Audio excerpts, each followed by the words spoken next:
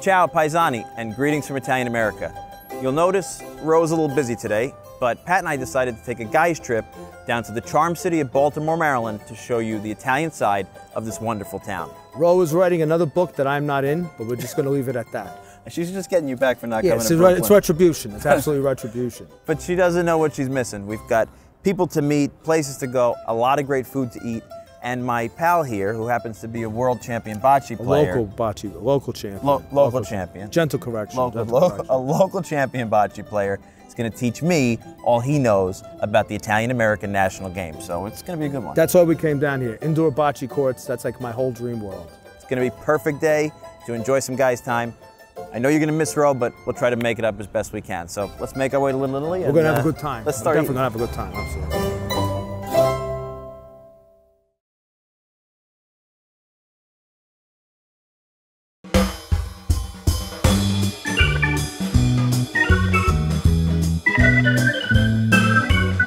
So with Ro taking the day off and John taking some time to work on his bocce skills, I, your gracious host, Pat O'Boyle, am finally getting a well-deserved turn in the captain's seat. Now, if it were up to me, we'd spend a full episode on the bocce courts. But to be fair to the lesser athletes amongst us, we're gonna mix it up a bit. Instead, try to answer a simple question What makes a Little Italy? In Baltimore, it's an enclave of roughly 15 square blocks, and it's now populated by the descendants of some of the country's earliest Italian settlers. Their roots can be traced back as early as the 1840s and consisted primarily of immigrants born in the areas around Genoa, Naples, and the Abruzzo, and in Sicily, Cefalù, and of course Palermo. Some sailed into the port directly, and for others it was a train ride down from Ellis Island. But to everyone it became home. A strong and close knit community of our fellow Bisons whose traditions and tremendous spirit are still ever present today. And for us, we figured we'd start right at the heart with a visit to St. Leo's Church and a quick talk with their pastor, Father Carmen.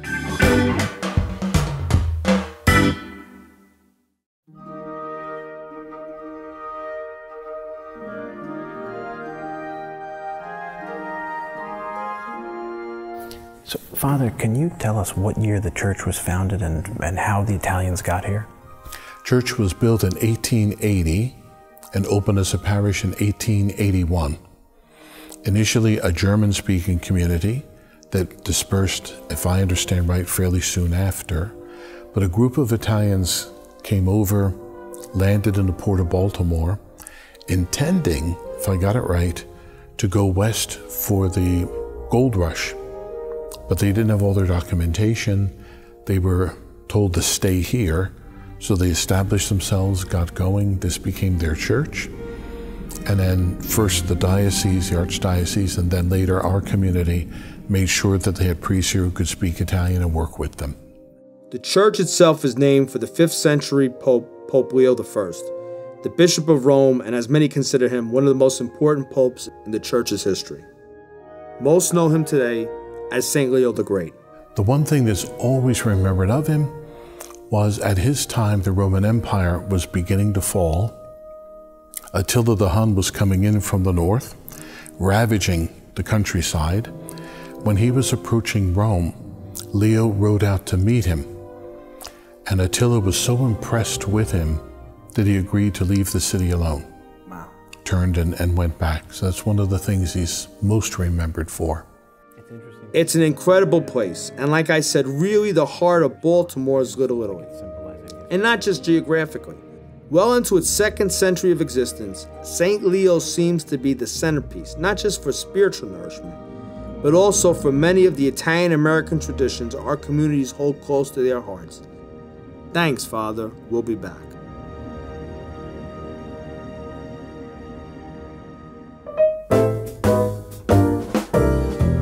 We met up with neighborhood native and former Little Italy Advisory Board President Ray Alcaraz. What better way to see and learn about a place than with a guided tour? At this point, we were well overdue for a fine Italian meal, and Ray had just the place. All right, Ray. We asked you for your top recommendation as an expert on Baltimore's Little Italy. You are the expert, and you've taken us to Chiapparelli's. I've got this beautiful, famous chip salad in front of me. Tell us why Chiapparelli's and what are we eating? Well, it's one of the oldest uh, restaurants here in Little Italy. Um, you're having a chip salad, which is known worldwide, um, and I think um, the ravioli here is my favorite, and I think you'll enjoy that. Um, and this is a, a multi-generational restaurant. Uh, third generation now owns it, and um, it's just old school Italian, and it's perfect. There's no one who loves old school Italian eateries more than you do. No. You're the world expert. You are the encyclopedia of old school Italian Yeah. eateries. You can call me Anywhere Johnny in Red America, Sauce. I'm absolutely. happy. Johnny Red Sauce. That would be Yeah, a I like great that. name, Johnny Red Sauce. I could do that. I'll take You could that. have a checkered, checkered red and white checkered shirt, yeah. tablecloth. I can shirt. mark it with sauce Yeah, everywhere we go, like on the arm. It'd be perfect. I love this. I love a place that's family owned. It doesn't have to have a fancy interior. Good, hearty soul food for the Italian American community, as many generations as possible. That's like my my heaven on earth. So I'm happy. I'm looking forward to this one. I'll tell you a quick story. Um, this was set up a little bit differently when I was a kid, but I used to deliver medicine from the local pharmacy to uh, Mr. Chiapparelli and, and, and pretty much you know everyone. Um, and I was standing in the bar one time waiting to get paid, um, and this guy comes up to me. He said, "What's your name, kid?" And I said, "Ray." He says, get the kid a drink. Get a, get him a soda. And, and I, you know, it was Rocky Graziano who was buying me a soda because he was ha- hanging in the bar. The ravioli really hit the spot and were especially right up John's alley. But for me, this day was all about our next stop.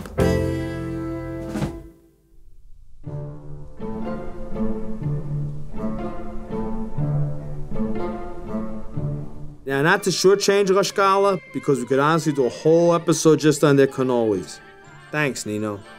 But when you've got an indoor bocce court, it's going to tend to steal the show. This is what we drove three hours for an indoor game of bocce. So, just for those of you who are not familiar with the game, there's, there's a lot of uh, theory that it goes back 5,000 years before the birth of Christ, the ancient Egyptians. We know the Egyptians played a game. Um, if it was not exactly like bocce, it was very, very similar to it. It, the Greeks played it, they brought it to the Romans. So much of Ro- what Rome had, they took from Greek culture. And it's basically, in a lot of the Anglophonic world, it's referred to as lawn bowling. So this is the key, this is the star of the show. It's called the Paline. And the Paline is a small ball that's thrown out. And two teams uh, bowl, they throw out the balls to get closest to the Paline. The team, with the ball that gets closest to the Paline, gets the point. Now you can get, if you have one ball that's close to the Pauline, you would get one point. Or um, if you would have, let's say, all, all four balls could get points. But the key is that your ball, if, I if John can help me, your ball has to be close enough that if there's not an enemy team, an opposing team ball that's closer. So let me give you a, an example of this. If we had these balls like this next to the Pauline, green gets one point because red is as equal or closer to the Pauline than this green ball is. If we remove the red ball, green gets two points because you have two green balls close to the Pauline without a red ball that comes closer. Does that make sense? Yeah, sure. We'll try to keep this game as friendly as possible, though I can't help it if the inner champion me decides to peek out.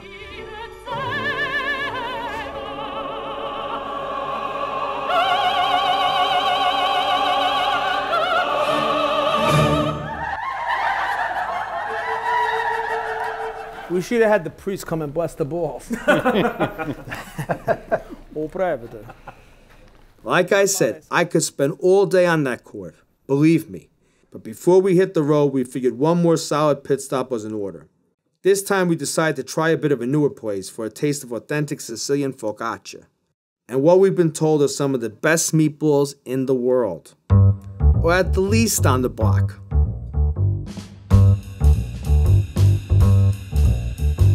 Joe, everything sounds spectacular. So, what do you recommend we try? What are we going to have here?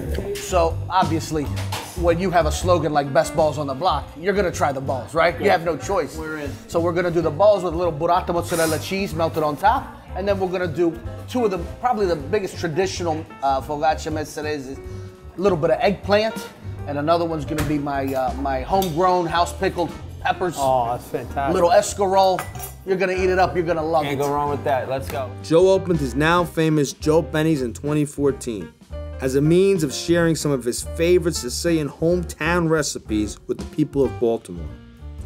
And of course, to be part of Little Italy's famous history. I love the neighborhood. You know, I always wanted to be a part of this neighborhood. So I've only been here 20 years. Hmm. I'm from DC originally, but I always wanted to kind of do something and be a part of some sort of Italian tradition. You know, very proud of my heritage. So I said, you know what? I was in my 30s. I said, what better time than now? Let's do it. So I went, I learned it, you know, how to do the, the focaccia, the meatballs, all my family recipes, you know what I mean? So it wasn't that hard. And then uh, we just went with it. So now, uh, eight years later, and everything, thank God, is still going strong. Yeah. We came for the focaccia, but we stayed for the meatballs, and trust us, they lived up to their name and then some. Now let me ask you, your meatballs, they, you, you use a breadcrumb base, which is very Sicilian, am I correct? Absolutely, With yeah, Neapolitans, Campania, we use a soaked bread. Yes, you do. That, that is our base, but your Yeah. base is the typical We, Sicilian. we do a bread. breadcrumb. Yep. And sometimes I'll even throw, not sometimes, I try to make it every time. I'll put a little bit of my focaccia. Oh. My focaccia in the, I, I throw it in the oven, the leftover, I make it hard, I crumble it, and we toss it in there. So it's got a little olive oil, it's got a little moisture going in It's there. like right? it's like it's it's like your focaccia squared. It's like your focaccia in paradise. Exactly. Now your focaccia meets a happy pig, and they make love and they produce they produce this meatball. I never, ha- I've, listen to me. I've never This heard my meatball- balls referred to as Yes. in such a manner, but uh, You gotta come here just for the meatballs. The meatballs and the bread. We're eating ourselves, dare I say, into a coma today. Oh, they're fantastic. So, what do you think makes a Little Italy? Is it really little more than a few blocks of great food in our beloved tricolor displays? Or is it something else? Something that instinctively brings us back and greets us with the warm nostalgia of our incredible history and amazing culture. Ray, what keeps you here and what keeps you coming back, advocating for the neighborhood, promoting it, fighting for it? Why? Because it's home. Um, you know, growing up here when you when everybody was your family, it's home. So you can come back at any time and you're still home. But I love the neighborhood and I stayed put. God bless you. I'm going. I was born there and I'll die there. God bless you. Like my mother. Every neighborhood in this world changes over time, but for Italians, our roots are always strong, and our rich traditions have so far passed the test of time. But it's up to all of us to continue to preserve this gift that we have been handed, and to share our wonderful heritage to all who seek it, and to make sure that for many years to come, Little Italy's all over this country provide everyone with the indistinguishable feeling of coming home.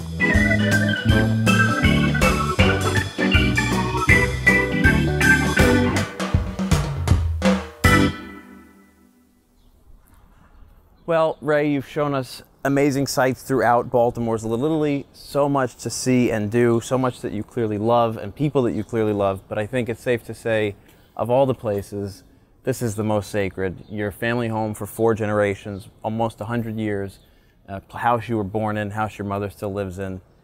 It's the intimacy of this neighborhood, I think, for us that makes it so inviting. And everybody has been so gracious to us. And I feel like we're part of a family here in Baltimore. So I highly recommend everybody come out and see this version of Italian America, this great place. And it's got so much to offer. And, and I know you're a fan of Rossella. I'm sorry we didn't have her with us today, but uh, next time we'll bring. She bring. missed a great episode. She did miss a great missed a great episode. Yeah, episode. she missed. Well, tell her to visit anytime and you guys come back as well. I think she's afraid that the Sicilian focaccia is better than the Barese. It's probably true. You didn't hear that from me. well, we take her to see Giuseppe Uh, over there. I think uh, she might get a, a lot run to for learn. money. She got to run for money. Well, Okay. And I just want to say it was such a pleasure to get to meet you and get to experience this neighborhood with you because your love for your people and for this place is so it's it's it's so inspiring and it inspired us and we're happy that we got to share that with you. So thank you very much. my thank you for Thank the you. trip, thank you for the time, and thank you for all you've done for Baltimore's Little Italy. Thank you. Appreciate it. this is a great visit. town. Come see Ray. He's always taking people around. There's plenty of people to meet, lots of great food to eat, and wonderful people to interact with. So if you've enjoyed our adventure in this corner of Italian America, make sure to follow, like, leave us a comment, and come back next time as we bring you more greetings from Italian America.